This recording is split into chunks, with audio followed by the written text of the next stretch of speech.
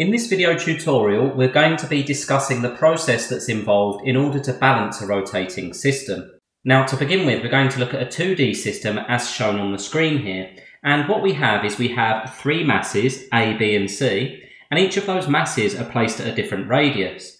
We can see that mass A is a 1 kilogram mass at 100 millimeter radius, mass B is 1.5 kilograms at 75 millimeter radius, and mass C is 2.5 kilograms on a 90 millimeter radius.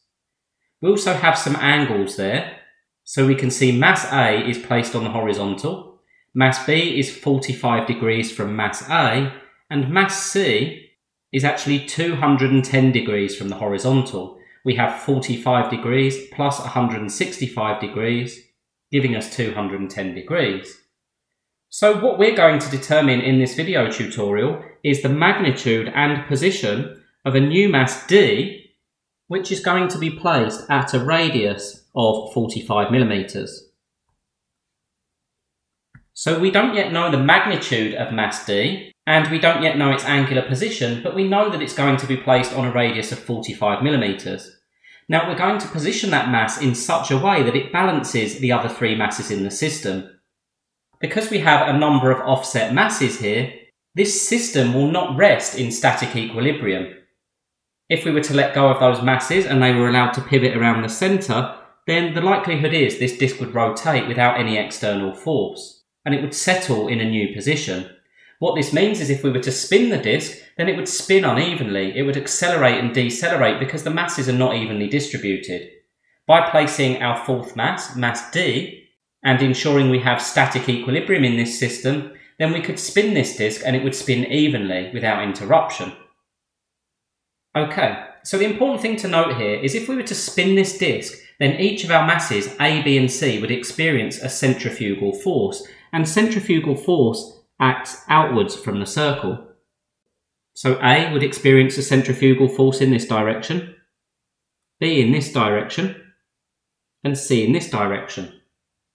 And the formula for centrifugal force is F equals m omega squared r.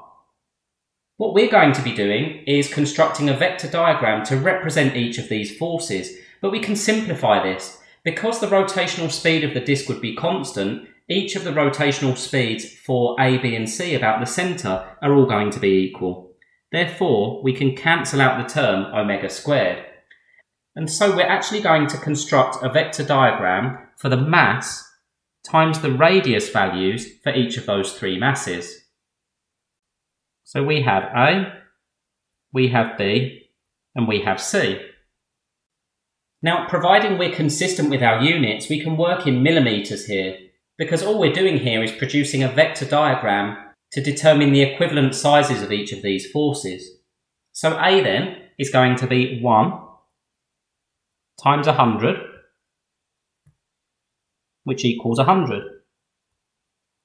If we were to apply units to that, then we would have kilogram millimetres, but we're going to just leave it as a magnitude for the time being.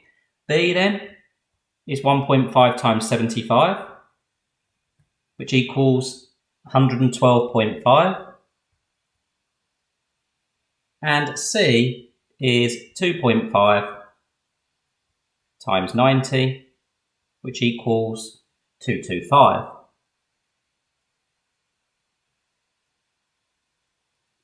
Now, we also know the relative directions for each of these vectors. We know that A is on an angle of 0 degrees. We know that B is on an angle of 45 degrees. So we'll make a note here at 45 degrees. And we know that C, as we mentioned earlier, is at 210 degrees. Those are all referenced with zero degrees at three o'clock, and then the angles are being measured anti-clockwise. And that's the standard convention for bearings and for vectors. So what we're going to do is construct a sketch for the addition of those three vectors.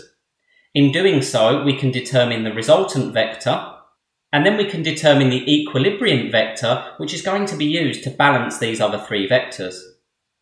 We can then use that equilibrium vector to determine the size of our mass D. Okay, so next we're going to construct a vector diagram to represent these three quantities.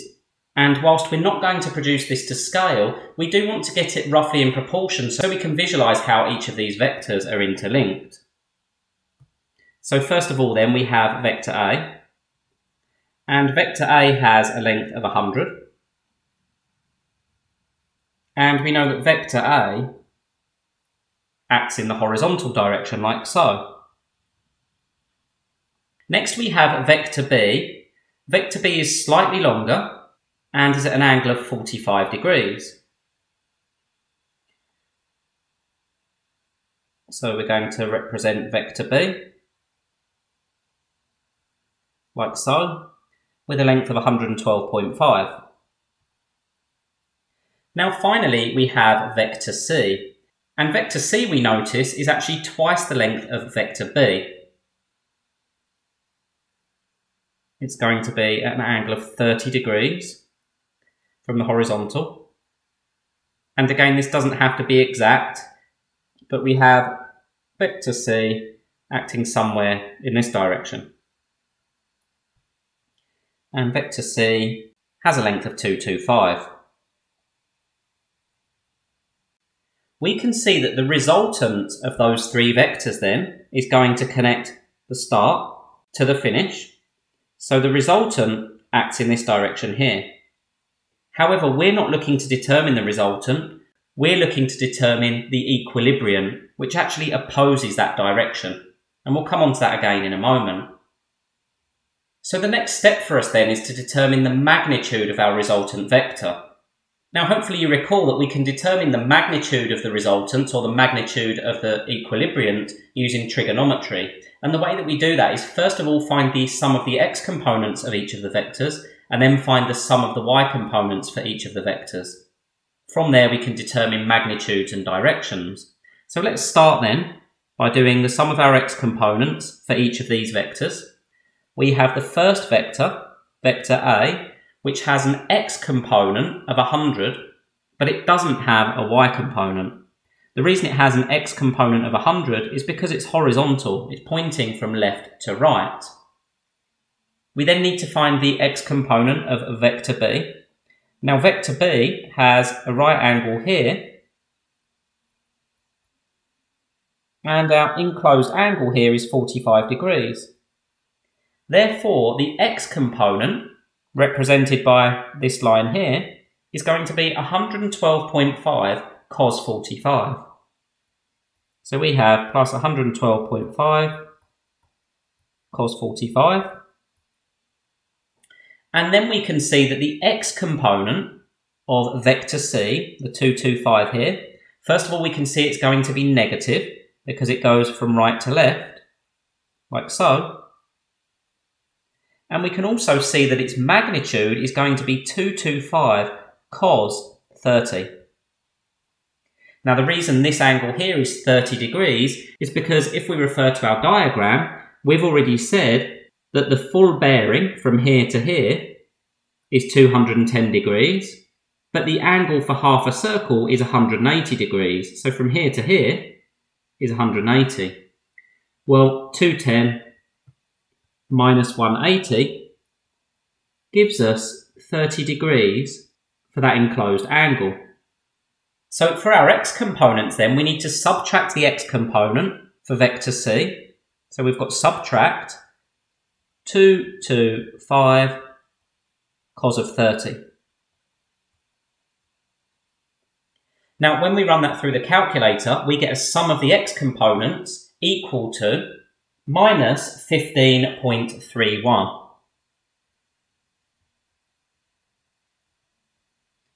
and that's accurate to two decimal places. We need to repeat for our y components, so we have the sum of the y components equals, well, we can see that vector A doesn't have a y component because it's horizontal. We can see that vector B has a y component here equal to 112.5 sine theta, or sine 45 in this case. So we have 112.5 sine of 45 Note that all of these angles are in degrees. but we can see that vector c has a negative y component because it's acting downwards. So we need to subtract 225 sine of that angle, which is 30, giving us a sum of the y components equal to minus 32.95. Now once again that's accurate to two decimal places.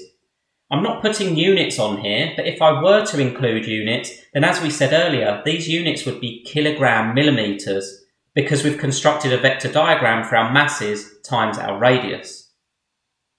Okay, so we can see that we have a resultant vector, which has a negative x component and a negative y component, which is what we suggested from our sketch. Let's create a new sketch then, in order to determine the magnitude of our resultant vector, which will also be the magnitude of our equilibrium vector, and also the direction of our equilibrium vector. Then finally we can determine the magnitude of mass d. Okay, so the sum of our x components came out to be minus 15.31. So you'll notice that I've drawn that arrow from right to left, which is the negative direction, and the size of that vector is 15.31. You'll also notice that the sum of our y components was negative. So again, I've drawn that acting downwards and it has a magnitude of 32.95. So to determine the magnitude of our resultant, which would be represented on the diagram here, well, we can see that the resultant is going to act from top right to bottom left because it connects the start of the first vector to the end of the second vector. Its magnitude then can be found using Pythagoras' theorem, and Pythagoras' theorem states that the square of the hypotenuse equals the sum of the square of the two shorter sides, or in this case r squared equals 15.31 squared plus 32.95 squared. Therefore r equals the square root of 15.31 squared plus 32.95 squared, giving us a magnitude for that vector equal to 36.33 to two decimal places. Now please note that that value there, 36.33, is the value for the mass times the radius. Recall that we constructed a vector diagram for the mass times the radius in millimetres. Well, if we refer to our left-hand side, we've already specified that mass d needs to be placed at 45 millimetres. Well, if we know that the mass times the radius for d equals 36.33, then we know that the mass of d is just 36.33 divided by its respective radius of 45, which is going to give us a mass of magnitude equal to 0.81 kilograms. Therefore, we know that mass D is 0.81 kilograms. What we don't yet know is its angle, but we can use our triangle here in order to determine this internal angle. The internal angle there can be found using tan to the minus 1 of opposite over adjacent. So let's clear some space and carry out that calculation. So I'm going to call the angle that I'm trying to find theta, and then I can write the following. Theta equals tan to the minus 1 of opposite over adjacent, or in this case we have tan to the minus 1 opposite 32.95 over adjacent 15.31, giving me an angle theta in degrees equal to 65.1 degrees.